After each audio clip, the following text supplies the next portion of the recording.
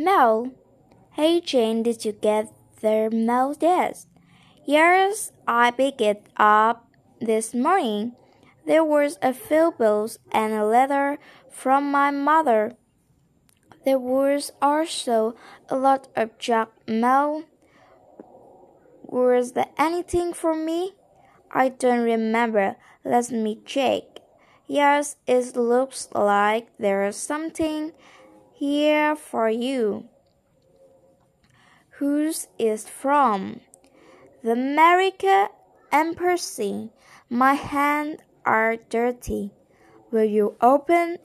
It's for me. What does it say?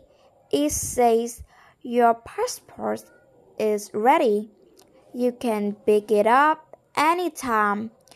Do you think you can drive me there? Sure, when? I think we should go get it now. I'm going to wash my hand and then we go. Is that okay?